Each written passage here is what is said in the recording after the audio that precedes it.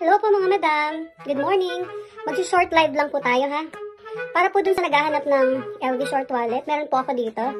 Huwag muna po kayo magmamind, magpapakode po ako, okay? Explain ko muna po mabuti sa inyo ha. Maganda po yung ma-explain natin na mabuti, okay? So, mag-start tayo dito sa gilid.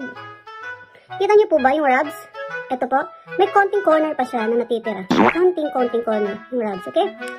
Tapos, ito po, ito, yung tarnish niya po, nakikita niyo po ba yung tarnish? Medyo may bakal pa siya. Okay? Yan.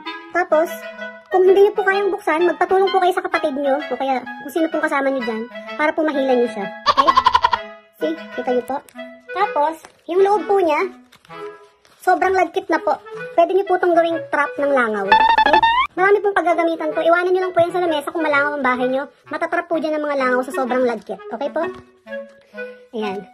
Tapos, dahil po sobrang labo na niya, bahala na po kayo mag-isip kung monogram ba to or dummy. Bahala na po kayo ha.